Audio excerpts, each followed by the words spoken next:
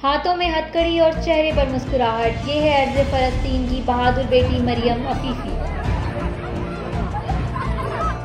इस मुस्कुराहट से कुछ ही देर पहले इसराइली फोर्सेस ने मरियम को गिरफ़्तार किया था और नहायत बेईमाना तरीके से घसीटा।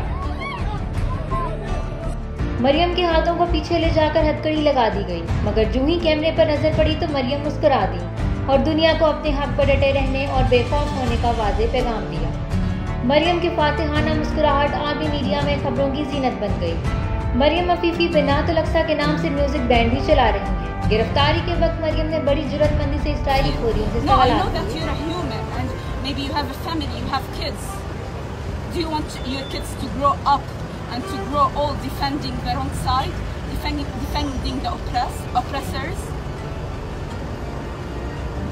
This is what did you, this is what you wanted to be when you were young, when you were a child, to be in the wrong side. This is what you wanted. When you were a child, dreaming to grow up and having big dreams. This is what you wanted? To be, to be in the side of oppressors?